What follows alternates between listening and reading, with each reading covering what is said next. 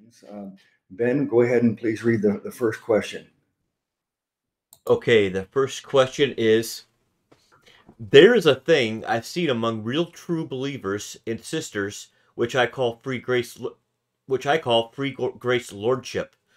Free grace lordship is when despite believing in eternal security, the true gospel and and fully subscribe to CES statement of faith, they are very legalistic, even fear-based and even act like lordshippers in their walk with God, i.e., think everything is evil. Examples is they'll say things like TV is evil, music is of the devil, so you are only allowed to listen to Christian music. You should never eat Chinese food because some Chinese Chinese restaurants have a statue or picture of Buddha, so eating Chinese food is eating food sacrificed to idols. Main main emphasis is being hard against sin and disobedience rather than grace. Consuming alcohol is forbidden. Absolutely everything is trying to reprogram you into Satanism, so trust absolutely nothing and live like a monk. You shouldn't touch anyone or let them touch you, not unless you know they are good, otherwise their spirit will rub off on you or they could be putting a curse on you.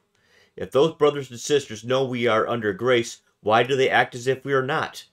Why do why do genuine believers see just see fear, deliberate conspiracy, and corruption in everything, i.e., shouldn't the revelation of the true gospel set them free? Not see everything as being evil? That almost sounds like in their heart maybe they are not fully convinced of grace. They have enough to get saved, but not enough to live in freedom. So they are trusting in their ability to protect themselves and their ability to obey God rather than resting in grace. I think Romans 14 is not judging those who judging those who, for example, would eat meat in case it was sacrificed to an idol, is where Paul says their conscience of grace is weak. Okay, wow, that's a lot of it's a loaded question there. Sister Renee, will you go first? Yeah, uh, well, I'd agree with that assumption because the earth is the Lord's and the fullness thereof. So all this legalism, so what? They offered it to an idol. It's sanctified with prayer and the word of God. It says the idol is nothing because our God is the true God and we are complete in him. So if someone is walking around in this kind of fear, first of all, God doesn't give us that spirit. God doesn't give us a spirit of fear, but of power, love, and sound mind. That means a peaceful, clear thinking mind. And when you grow in grace through the milk of the word, you realize how much more complete you are in him. And so I would agree this person is a weak conscience. That's what the Bible calls it. A brother has a weak conscience. They're still bound in legalism and fear because they do not understand their liberty in Christ. All things are lawful for me, but not all things are expedient. All things are lawful, but I will not be brought under the power of any. So, uh, is alcohol forbidden? No. Should you be a drunk? Absolutely not. But you don't walk around in fear. Is there wickedness on TV? Yeah, I'm screaming at it every time I watch it.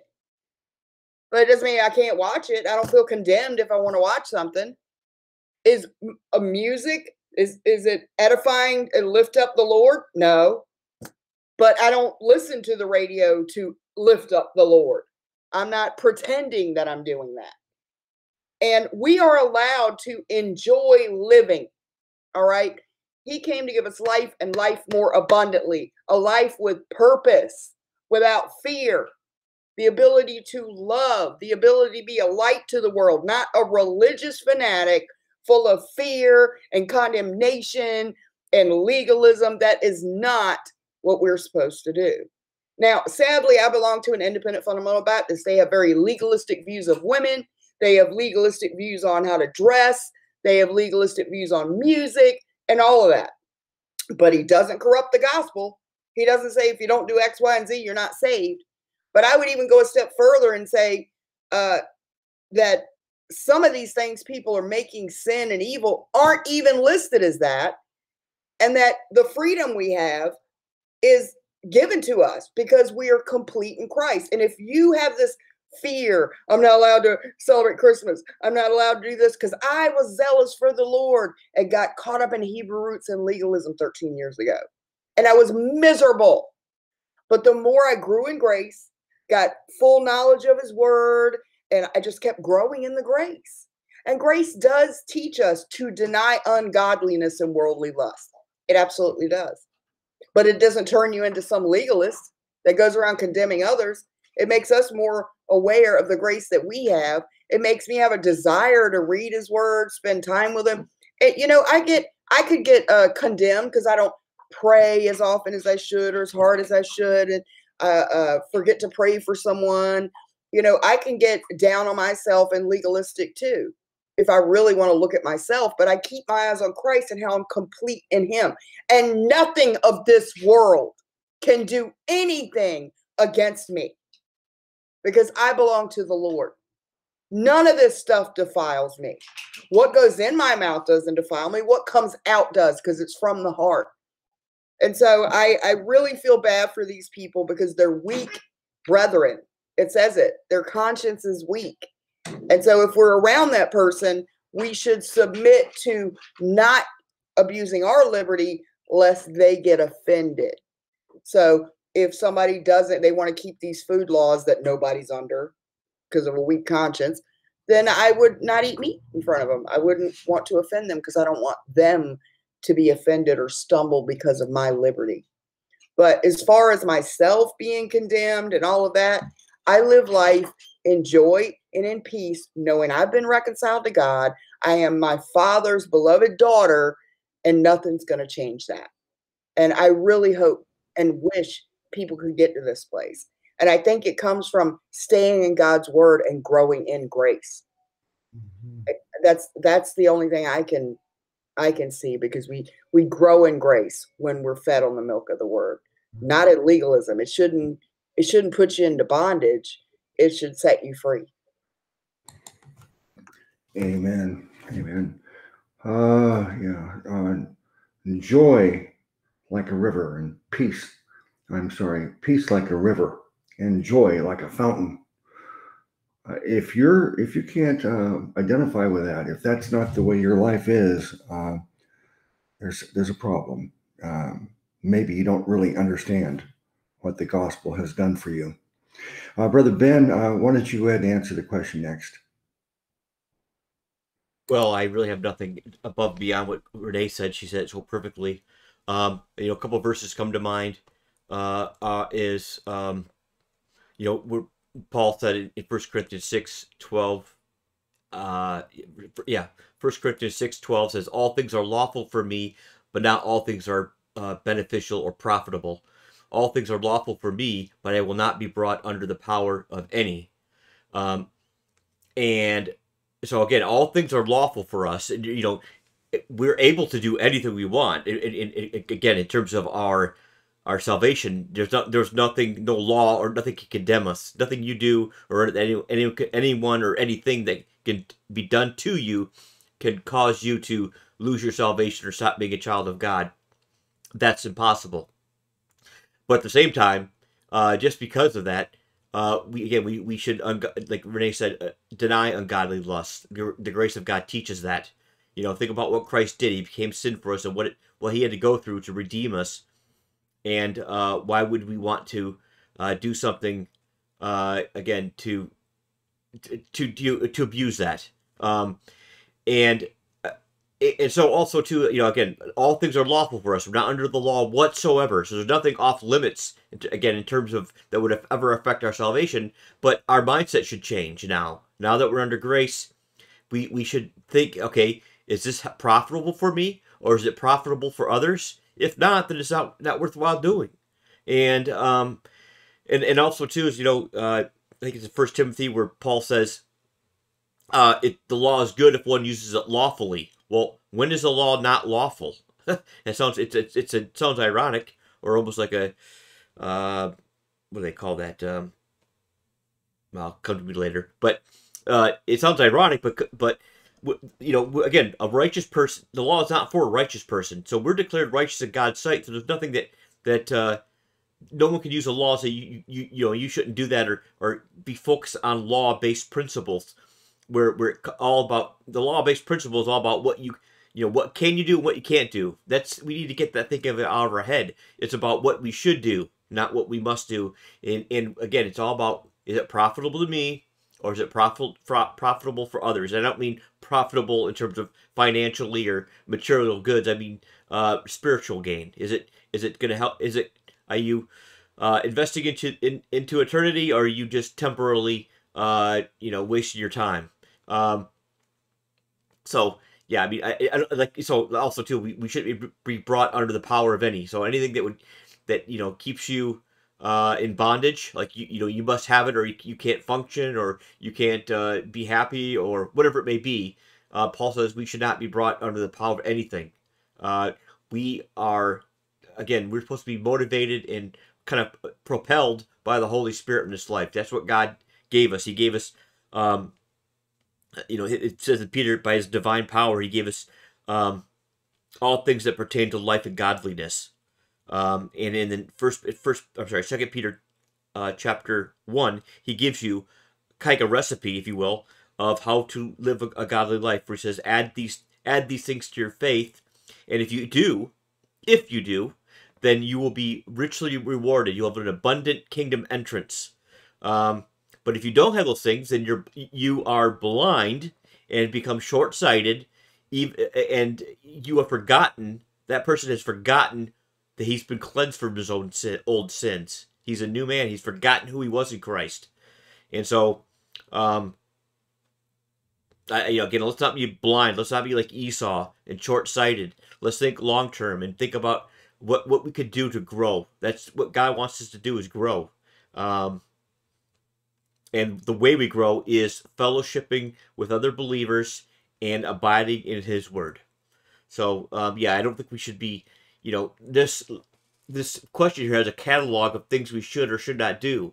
And once you start getting into, you know, listing, creating lists of things you should or not should not do, I think you're fall you've fallen into legalism. It's not it's not about it shouldn't be your whole mindset shouldn't be about what you should or should not do do but what can can you do now that you are a child of god what what can a saved person do think of things that a, say, only a saved person can do and a lost person can't and how what, what would that be well it's it's growing in the lord serving other believers uh, and serving the lord so uh, those are all things a lost person cannot do so those are the things we should be focused on what should motivate us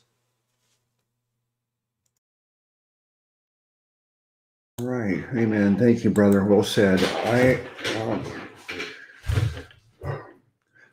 when Jesus died on the cross and paid for our sins, and not for ours only, but for the sins of the whole world, the the sin problem between man and God was resolved. Um, uh, man is no longer estranged. Uh, the the scriptures say that at the time of Jesus' death, there was an earthquake and the t- temple was shaken, and the the curtain that separated the outer area from the Holy of Holies that was torn in half from top to bottom. And it wasn't just some quirky thing that happened. It happened to be an interesting thing, a historical uh, fact, but it was symbolic to, to show us that uh, what Jesus said, it's finished. He accomplished this for us the, the, the curtain was there to keep the people separated from God. And that represented sin. Sin was the reason we could not have a relationship with God. But uh, when that curtain was torn in half and the, the uh, holy of holy areas was exposed and open, that shows us that uh, there's no barrier. There's no reason why we cannot have this relationship with God now. Um, and when we, we believe that and, and have our faith in Jesus and we get eternal life and the, the promise of, of, of heaven, um, th- we should have this, as I said, uh, peace like a river, joy like a fountain, the what we call the blessed assurance, blessed, happy. We should be happy because we, our eternal life in heaven is guaranteed. It's it's settled. Nothing can change it. Uh, and yet, when there are people who uh, believe that, and then as we find in the book of Galatians, they believe false teachers and then think that faith in Christ is not enough, and they add all these other things and nullify the grace of God. So uh, it makes you wonder about the people, but um, I, I, I, would caution everybody to, um, if someone uh, doesn't have that peace and joy and blessed assurance, it's sad, it's tragic. But um, does that mean that they they're not saved? No, not not not at all. Uh, um, if they might have not gotten saved, we don't know that. We cannot determine that. Uh, there's no way of us knowing. But if if a person truly understands the gospel, that um, uh, it, it's all done, and Christ did it all, and and and there's nothing we can do to add to it, and there's nothing we can do to to lose it. Uh, if when they understand that, then you would think that they would not have to suffer with you know under legalism, uh, and yet uh, we know that there are some true believers that get led astray and and they they suffer with doubts and fears and worries and no longer have this blessed assurance. Um, so let's let's guard against uh, judging other people's salvation over this issue. Uh, but but uh, if they if they do have these the doubts and fears, uh, it, it's telling me that there is a problem and that, that uh, perhaps they never did understand the gospel, or maybe now that they, they think it's different than than when they got saved. And so we need to we need to address that and, and not ignore it like it's there's no problem at all uh, we need to make sure they understand that uh, uh, there are no strings attached. Your faith is enough, and there are no conditions on us after that. Uh, all right, uh, Renee or Ben, you want to say any more about this yeah, one? I would I would refer them back to Galatians. I believe the Galatians were saved, yet they had lost their liberty meaning now they had lost the, the freedom, the ability to walk with, in peace by the guiding, the guiding of the Holy Spirit. Now they thought that they could be justified by something they did in their flesh, which was circumcision. And I would say the same thing here. Having begun in the spirit, are you now made perfect by the flesh? You began in the spirit. Uh, how did how did the spirit come to you? How did you get saved? By the hearing of faith. You heard what Christ did, that he was buried, he rose again on the third day. He died for your sins, offered his blood in the mercy to heaven. He rose again, so you know uh, that you have the promise of eternal life, that his blood was accepted on your behalf. That's how you got the Holy Spirit. You heard it. It was by the hearing of faith, not by anything you did. So why would you go back to thinking something you do or don't do in your flesh, like eating certain meats or worried about what idol? God is greater than any idol. It says that. What's an idol? It's nothing. It, everything is to be eaten with thanksgiving. It's sanctified with the word of God and prayer. That's it. So everything is His. We're complete in Christ. And if anybody gets into fear and legalism like this, it's it's typical of the man's natural mind to go back to a legalistic thinking, even if they're saved. They think now they've begun in the spirit, but they're going to go back to legalism for their walk. And that's how a lot of people get stunted. They don't actually progress and grow in grace through the milk of the word. They grow in legalism. And that's the wrong way. You're supposed to uh, grow in grace. And again, grace teaches us to deny ungodliness, but it it's not a legalistic spirit taste not, touch not, handle not. That's what Paul said. So, this kind of thinking is a brother with a weak conscience. We need to know we are complete in Jesus. And then that spirit, that Holy Spirit that dwells within us, he leads us, not in a condemning voice, but telling us what's the right thing to do in these matters. He leads us. So it's just unfortunate that people do get saved, but they go right into legalism when they start their walk. And that is not the spirit we're supposed to walk by. Mm-hmm. Amen. All right, uh, brother Ben. Any any follow up? Uh, more to be said or not? No, I think I think we addressed it thoroughly. All right.